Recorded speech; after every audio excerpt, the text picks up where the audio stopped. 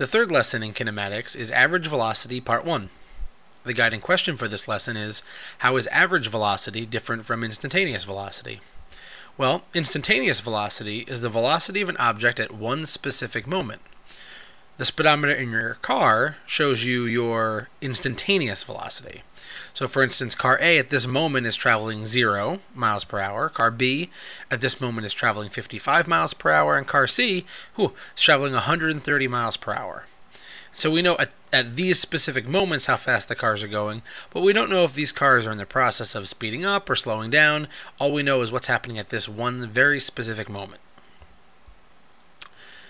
Let's get into average velocity. And first, let's see how displacement affects average velocity. Imagine we have a foot race between Isaac and Gottfried. They're both going to run for 10 seconds, and we'll see who runs farther. Isaac runs 40 meters, and Gottfried runs 25 meters.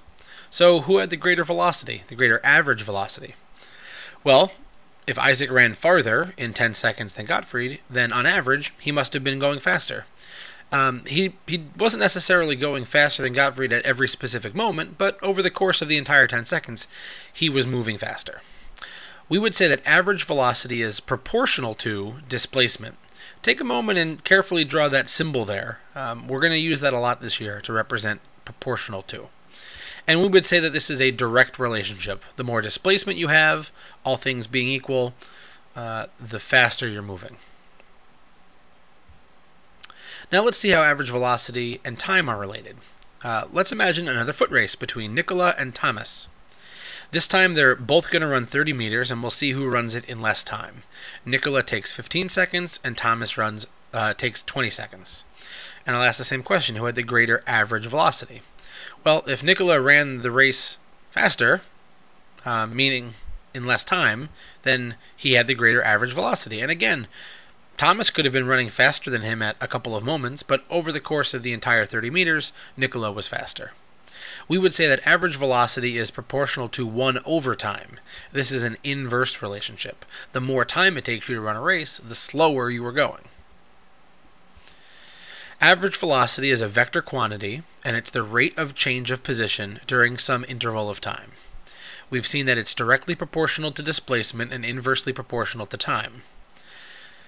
The equation we can write for average velocity is displacement divided by time, and we'll see direct relationships in the numerator and inverse relationships in the denominator many, many times this year. We normally write it like this, v bar equals d over t, where v bar represents average velocity, d stands for displacement, and t stands for time. Let's take a look at a couple examples. A train travels 450 miles in 6 hours. What is the magnitude of the average velocity of the train? Notice I'm asking for the magnitude of the average velocity. We don't know which, which direction this train is traveling, and we don't care. So we'll use our new equation, v bar equals d over t, and we can substitute in our 450 miles in our 6 hours, and you should double check this math to make sure that I, I know what I'm doing. Um, I calculated this to be an average velocity of 75 miles per hour. Of course, the train speeds up sometimes, it slows down sometimes, it stops sometimes, but on average during this six hours, it's traveling 75 miles per hour. Let's take a look at one more example. A student runs a 100 meter race at an average velocity of 7.5 meters per second. How long will it take them to finish the race?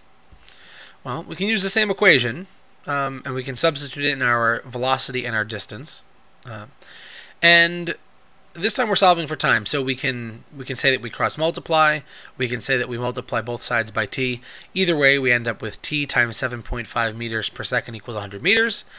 And when we divide by 7.5 meters per second, we find out that the time it took this student to run the race is 13.3 seconds. Let's address average speed briefly.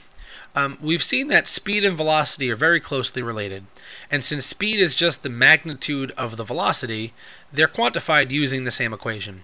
However, if we're talking about average speed rather than average velocity, then v bar stands for average speed, d stands for distance, not displacement, and t, it still stands for time. Alright, let's summarize this lesson. Instantaneous velocity explains how fast an object is moving at one specific moment, while average velocity explains how fast an object moved on average during some period of time. Average velocity is the rate of change of position during some interval of time, and it is directly proportional to displacement and inversely proportional to time. And the equation for it is v bar equals d over t.